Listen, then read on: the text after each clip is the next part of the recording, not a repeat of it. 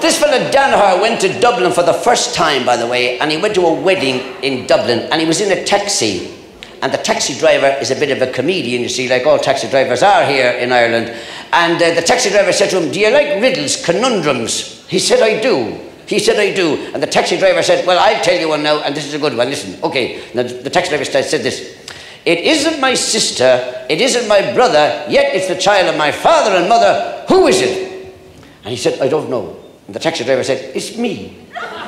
He said, My God, isn't that fantastic? You must be delighted. The taxi driver said, I am, yes, it's me, it's me. So when he got back to County Kerry, by the way, where he came from, he thought he'd try this gag out, by the way, with Sullivan. And he said to Sullivan, Do you like riddles, conundrums? And Sullivan said, I do. And he said, I have a good one for you now. Listen, listen. It isn't my sister, it isn't my brother, yet it's the child of my father and mother. Who is it? He said, It's you. He said, It's not me, it's a taxi driver in Dublin.